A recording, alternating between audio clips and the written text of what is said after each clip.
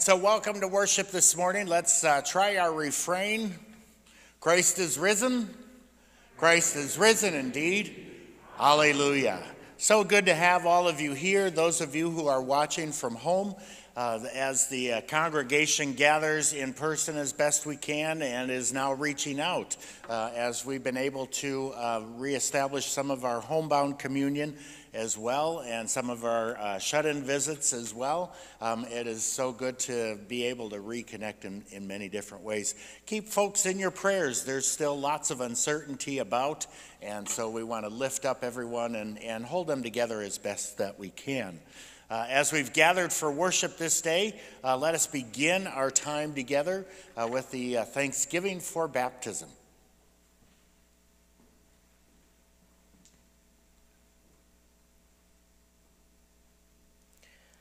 Hallelujah, Christ is risen. Refreshed by the resurrection life we share in Christ, let us give thanks for the gift of baptism. We thank you, risen Christ, for these waters here you made us new, leading us from death to life, from tears to joy. We bless you, risen Christ, that your spirit comes to us in the grace filled waters of rebirth like rains to our thirsty earth, like streams that revive our souls, like cups of cold water shared with strangers. Breathe your peace on your church when we are in fear. Clothe us with your mercy and forgiveness. Send us companion on our journey as we share your life together. Make us one, risen Christ. Cleanse our hearts. Shower us with life. To you be given all praise with the Holy Spirit in the glory of God, now and forever. Amen. Our opening hymn is Good Christian Friends, Rejoice and Sing.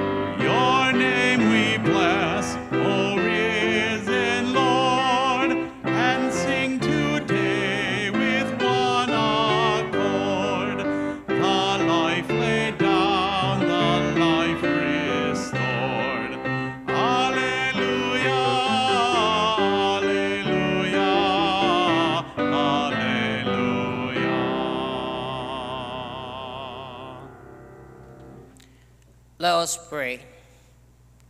O Lord Christ, good shepherd of the sheep, you seek the lost and guide us into your fold.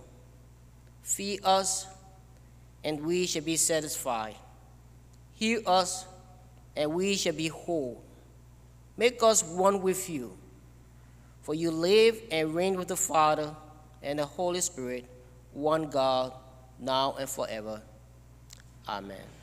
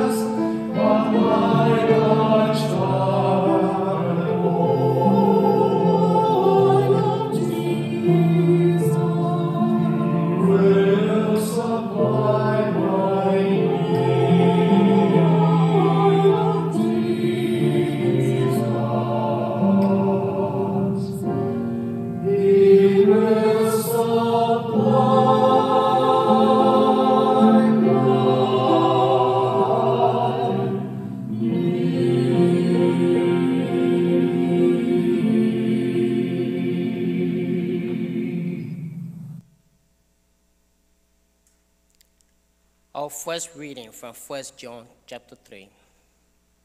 We know love by this, that he laid down his life for us, and we ought to lay down our lives for one another. How does God's love abide in anyone who has the world's goods and sees a brother or sister in need and yet refuses help? Little children, let us love, not in word or speech, but in truth and action. And by this we will know that we are from the truth and will reassure our hearts before Him whenever our hearts condemn us. For God is greater than our hearts, and He knows everything. Beloved, if our hearts does not condemn us, we have boldness before God, and we receive from Him whatever we ask, because we obey His commandments and do what pleases Him. And this is His commandment that we should believe in the name of His Son, Jesus Christ, and love one another. Just as He has commanded us, all who obey His commandments abide in Him, and He abides in them. And by this we know that He abides in us, and by the Spirit that He has given us. The word of the Lord. Thanks be to God. Please stand for the hearing of the gospel.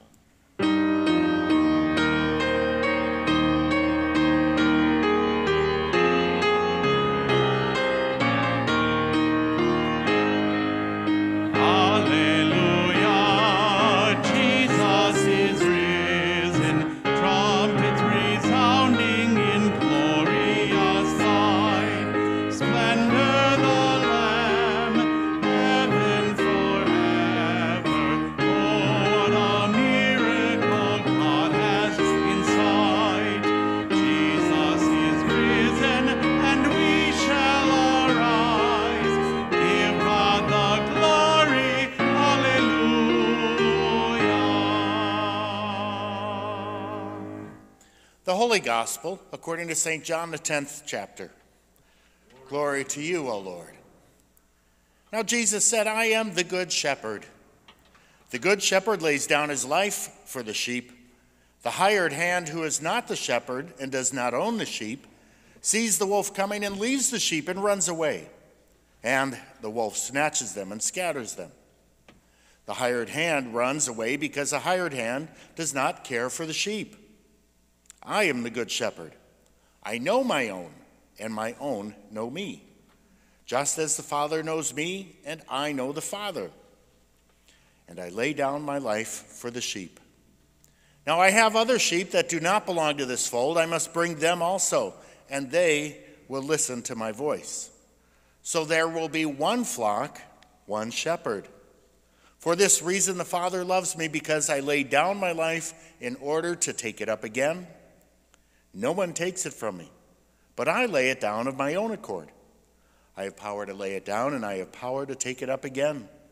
I have received this command from my Father. The Gospel of the Lord. Praise to you, O Christ. Congregation may be seated.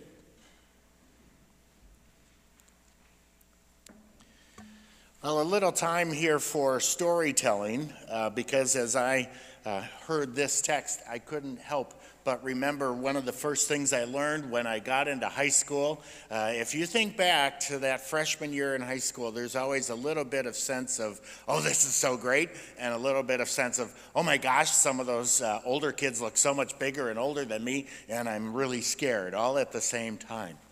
Well, one of the things that uh, a good freshman boy did in my town was you would go out for a football team.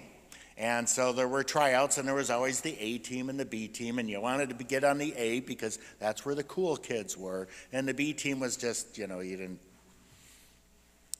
Well, the first day of tryouts in high school, we were a bunch of, what do you want to say, macho boys, or at least we thought we were. You know, we're, we're big and tough, we can do this.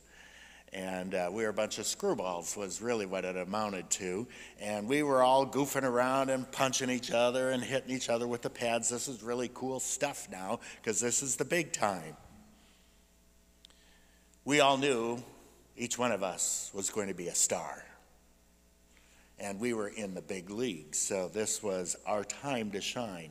Well, it took a while for the coach to get our attention because we were so wrapped up in ourselves. Uh, we didn't hear the whistle, we didn't hear him yelling, we didn't hear him or watch him as he slapped a few of the guys up on their helmets and said, Pay attention. Finally, he got us quiet and he said, he goes, there's, there's one rule that we're going to start with. And, and he goes, That rule is listen.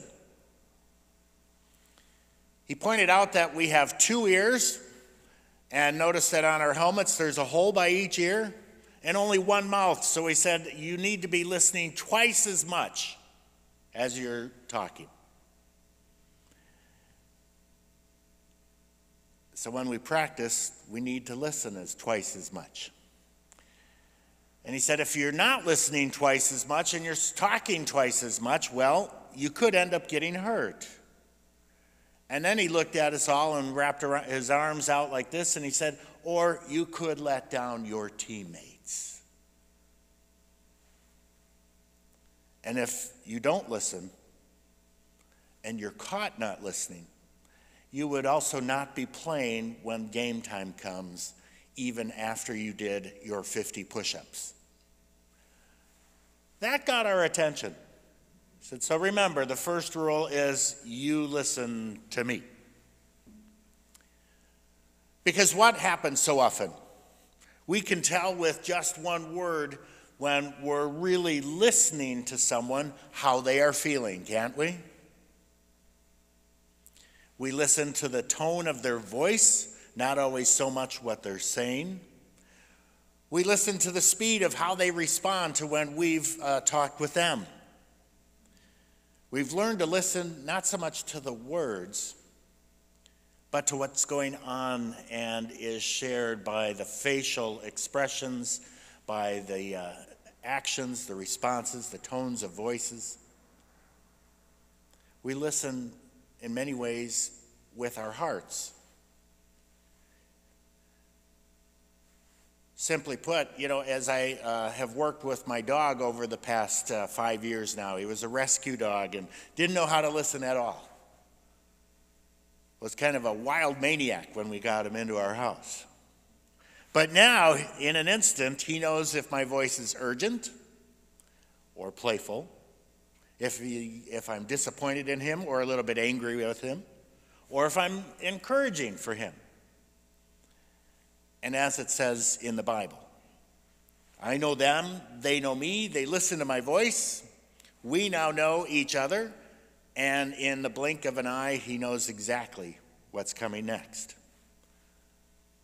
So, what's the point? The point is how we listen.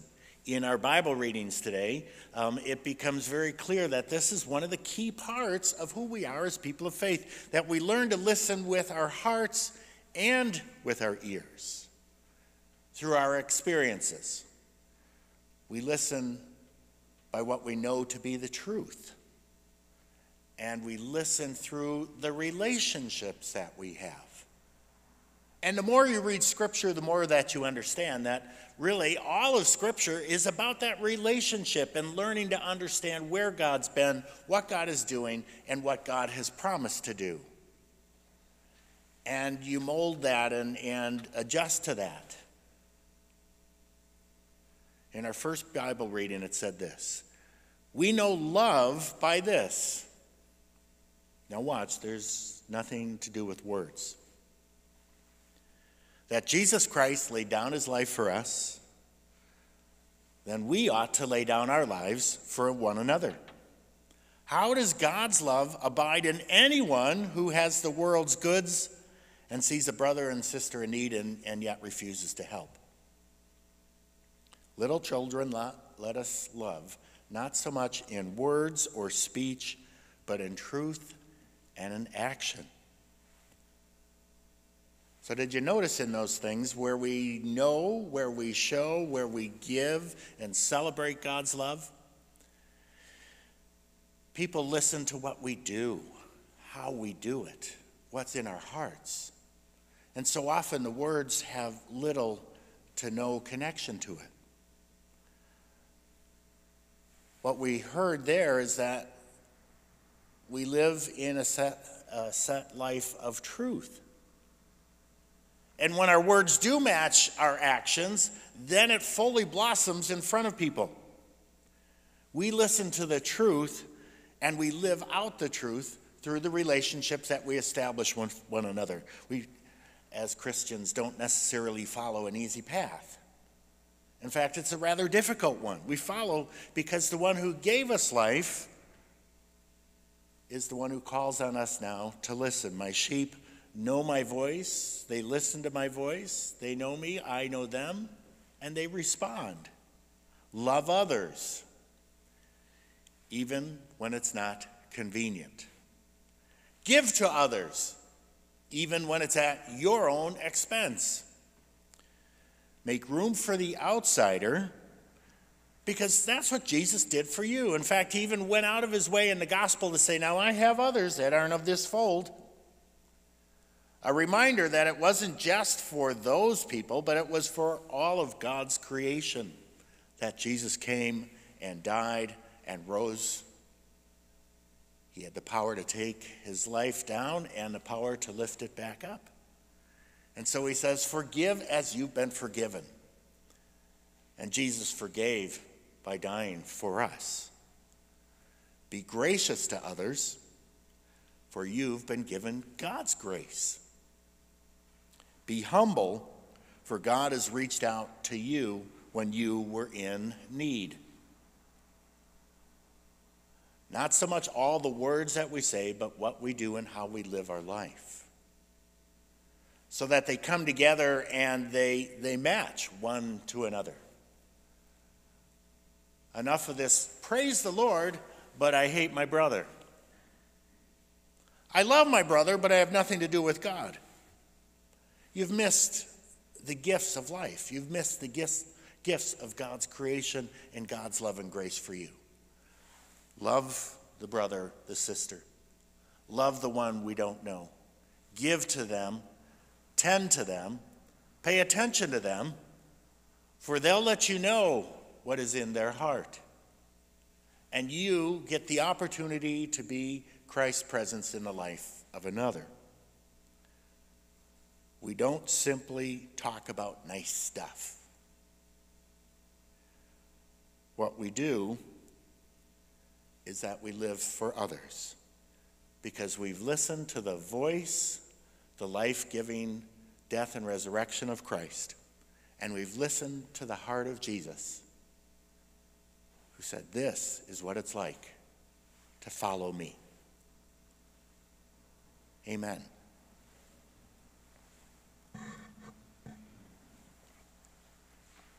Our sermon hymn is Listen, God is Calling. Listen,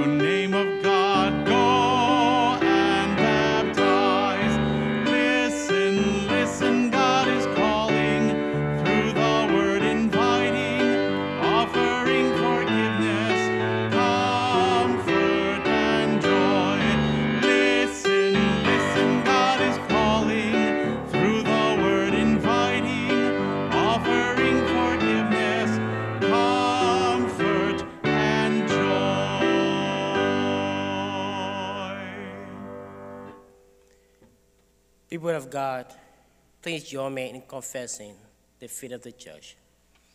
I believe in God, the Father Almighty, creator of heaven and earth. I believe in Jesus Christ, God's only Son, our Lord, who was conceived by the Holy Spirit, born of the Virgin Mary, suffered under Pontius Pilate, was crucified, died, was buried. He descended to the dead. On the third day, he rose again. He ascended into heaven. He is seated at the right hand of the Father, and he will come to judge the living and the dead. I believe in the Holy Spirit, the Holy Catholic Church, the communion of saints, the forgiveness of sins, the resurrection of the body, and the life everlasting. Amen. A life in the risen Christ will bring our prayers before God. Loving shepherd, you know your own, and your own know you. Your voice calls us to your loving embrace, strengthening our church throughout the world, that we bear witness to your expensive love. Lord, in your mercy, hear our prayer. Gracious God, you are a generous with the gift of goodness and mercy. Restore your creation to wholeness so that cities and towns, countryside, and wilderness may abide with your life. Lord, in your mercy, hear our prayer. Hope giving Savior, place into our hearts of all leaders and rulers the passion to serve. Remove any desire to overpower others and give leaders joy in the lifting up of the Lord. Lord, in your mercy, hear our prayer. Abiding Savior, your love flows as we reach out to those around us. Move us with your spirit so that we listen to your call and lay down our lives for those in need. Help us, Lord. Help one another in truth and in action. Lord, in your mercy, hear our prayer. Almighty God, we lift up those on Calvary prayer list and those that you name in your heart at this time.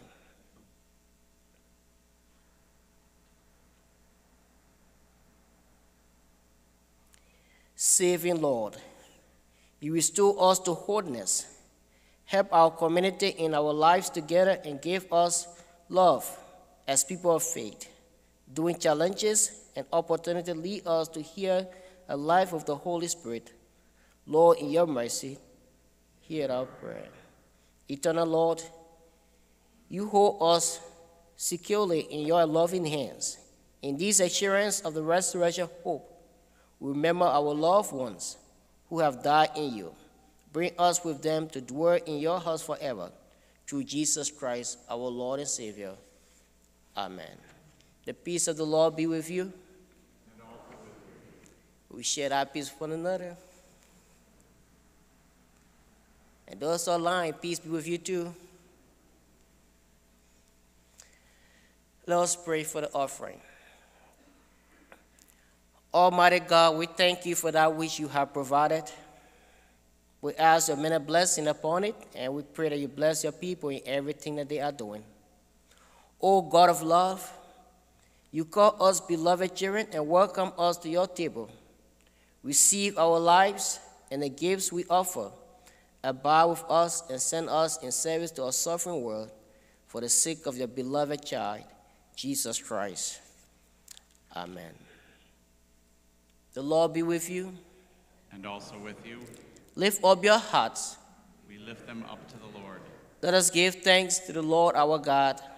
It is right to give our thanks and praise. It is indeed right, our duty and our joy, that we should at all times in all places give thanks and praise to you, Almighty and merciful God, for the glorious resurrection of our Savior Jesus Christ, the true Paschal Lamb who gave himself to take away our sins, who is dying has destroyed death, and in rising has brought us to eternal life. And so with Mary Magdalene and Peter and all of the witnesses of the resurrection, with earth and the sea and all thy creations, and with angels and archangels, We praise your name and join our on any hymn.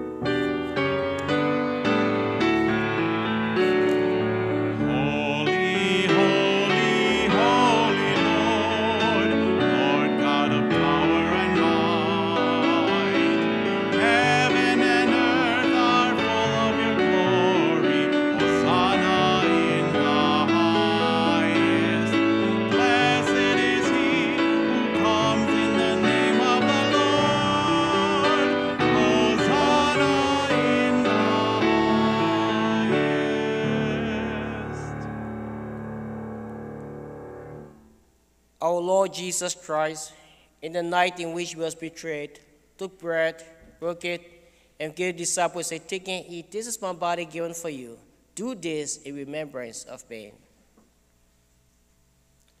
Again, after supper, he took the cup, he gave thanks, and gave it for all to drink, saying, This cup is a new covenant in my blood, shared for you and for all people for the forgiveness of sin. Do this in remembrance of me. Sitting together, let's pray as Jesus taught disciples, Our Father, who art in heaven, hallowed be thy name. Thy kingdom come. Thy will be done on earth as it is in heaven. Give us this day our daily bread, and forgive us our trespasses, as we forgive those who trespass against us. And lead us not into temptation, but deliver us from evil. For thine is the kingdom, and the power, and the glory, forever and ever. Amen. The table is ready. If you take and eat the body of Christ given for you.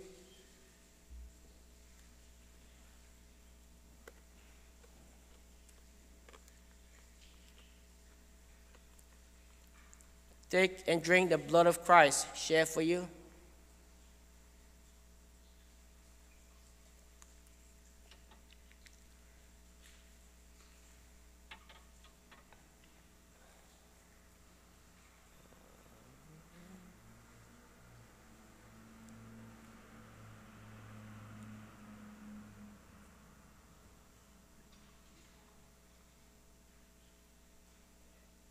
Let us pray.